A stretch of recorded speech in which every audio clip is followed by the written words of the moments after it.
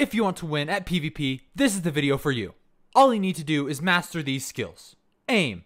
To master aim, just run around mobs in a single player world and make sure to do your best to keep your crosshair on the mob the whole time. Using the map. You always want to be facing towards the void so that you hit your opponent off the edge and get the kill. Speed bridging. Being faster in your bridging can lower the amount of time a team has to prepare for your attack, increasing your chances of winning. Using hotkeys. Instead of rearranging your inventory every time you get a new item, all you have to do is set hotkeys for specific slots to speed up your play. Like and sub for more videos.